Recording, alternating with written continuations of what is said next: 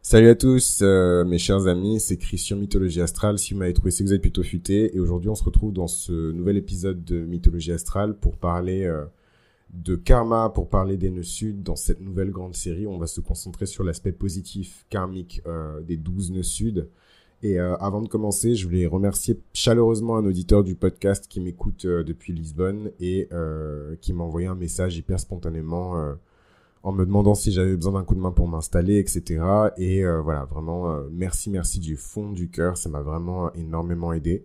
Et qu'est-ce que je voulais vous dire d'autre? Je suis toujours à la recherche d'un garant si jamais vous avez euh, un membre de votre famille qui est portugais, qui habite à Lisbonne ou pas, hein, mais juste qui est portugais, qui peut m'aider. Je cherche un garant, voilà, pour l'appartement que je veux louer à Lisbonne. Donc, n'hésitez pas à vous manifester par email à mitoastral.gmail.com.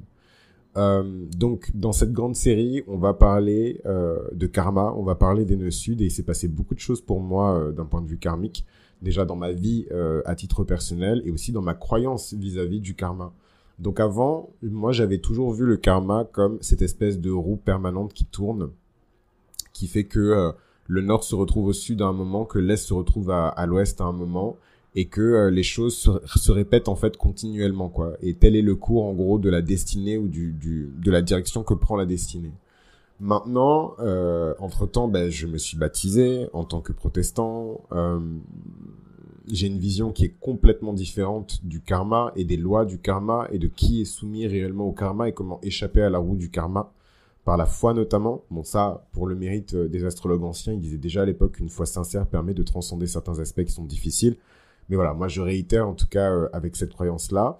Et aussi, aussi, aussi, aussi, j'ai fini une formation euh, complète d'astrologie archétypale avec euh, mon idole intellectuelle, Ren Butler, qui est un astrologue américain, qui est spécialisé donc dans la branche archétypale de l'astrologie. C'est un élève de Jung, c'est un élève de, Richard Tarnas, de Stan Groff et bien plus, dont je parle d'ailleurs dans le bouquin que je suis en train d'écrire sur l'astrologie.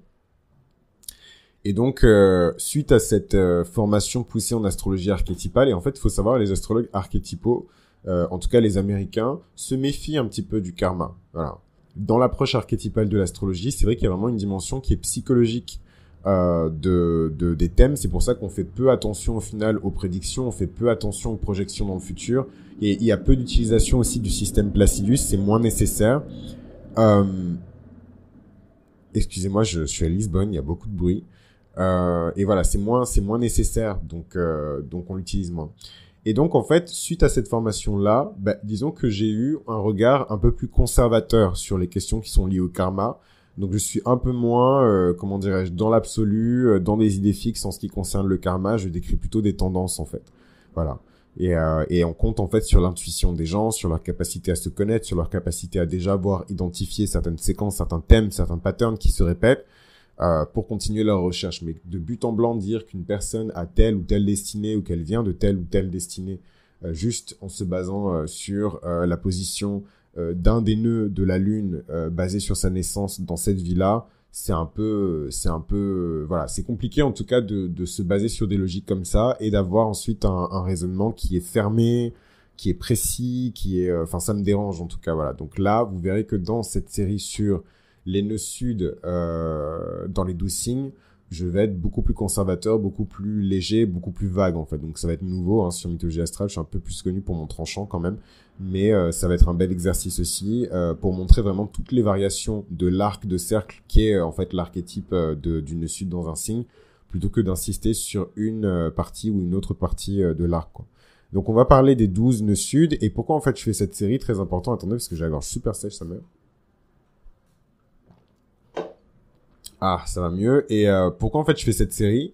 En fait, je fais cette série parce que je trouve que dans la première série que j'ai faite sur les, les nœuds sud, j'ai particulièrement insisté sur les aspects négatifs en fait des nœuds sud. Donc c'est tout naturel que je reviens ici pour contrebalancer avec les aspects positifs euh, des nœuds sud, tout simplement parce que j'avais une lecture à ce moment-là qui était très euh, voilà hellénistique euh, des nœuds sud où euh, le nœud sud est intrinsèquement négatif. On doit toujours transcender un, un, état précédent euh, qui était négatif ou qui était spirituellement, vibrationnellement, c'est tellement pas français, plus bas que euh, là où on se trouvait quoi.